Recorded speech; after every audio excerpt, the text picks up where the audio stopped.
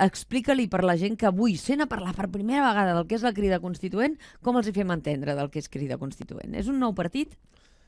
És una proposta d'una quanta gent eh, que han estat implicades en moviments socials, polítics, culturals, sindicals, etc, que davant l'escenari que, que tenim obert proposa ser un facilitador perquè s'articuli aquest front eh, electoral que parteixi de les coses i de les experiències que ja existeixen, és a dir, municipalisme transformador, propostes de ruptura que hi ha en el Parlament, etc. però a més sumi a la majoria de persones i gent que creuen que en aquests moments el que cal és fer una passa endavant, un, amb el trencament de l'estat espanyol, i dos, recuperant les diverses sobiranies. És a dir, aquí intentaríeu aglutinar, per no fragmentar més, suposo, el Parlament, aquesta força política, no?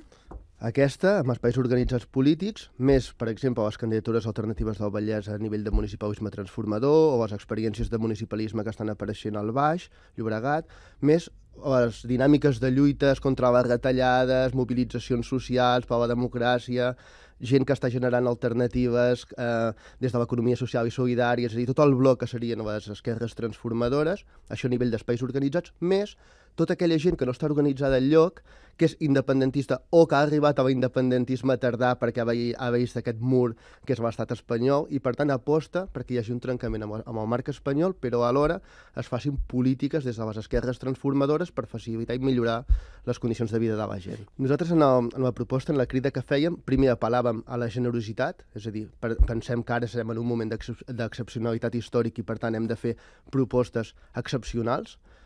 per això en primer lloc. En segon lloc, dir que hi ha uns, uns consensos, que ha de ser uns acords programàtics marcs, que si arribem a aquests acords i ens marquem un horitzó comú, l'altre serà molt fàcil, és a dir, si ens fiquem d'acord amb què fer i com fer-ho, amb qui serà, ja vindrà donat. Per tant, l'única proposta que plantegem és dir, un, hi ha d'haver un consens al voltant de què és l'hora no de reformar la Constitució espanyola, sinó de trencar amb el marc espanyol, i aquest és un. Aquesta és una línia innegociable. Innegociable. I la segona és dir que també entenem que les polítiques més de reformes econòmiques, dir, la socialdemocràcia clàssica, etc., estan en un moment de fallida. François Hollande ho ha demostrat amb la gran esperança a França i, per tant, hem de ser molt més ambiciosos i hauríem de eh, potenciar tot el capital acumulat des de les esquerres transformadores que ja tenim i apel·lar a unes noves formes de fer política a nivell de democràcia doncs, més radical, etc. Per tant, una mica és lligar l'element del trencament en el marc espanyol en la recuperació de les sobiranies alimentària, econòmica, eh, energètica, etc. i per tant fer una proposta àmplia de les esquerres que volen un nou model de país molt més just i molt més al servei de, de les majories de la gent. Tothom que aposti perquè hem de potenciar un espai de ruptura en el marc espanyol tin hi tindrà cabuda. Ara bé, i creiem que això esquerda eh, l'estat espanyol també, i que trenca amb la cultura de la transició, vull dir que aquesta és una aposta molt clara.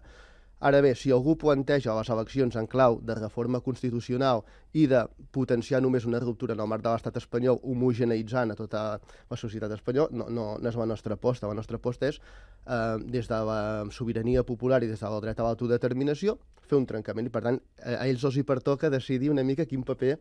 volen jugar en el cas de Podemos. Nosaltres entenem que, que el missatge és molt clar, que ha de ser un trencament amb el marc espanyol, que es cardarà l'estat espanyol i que, més, nosaltres no podem homogenitzar les diferents ruptures constituents que hi poden haver en el camp de l'estat espanyol.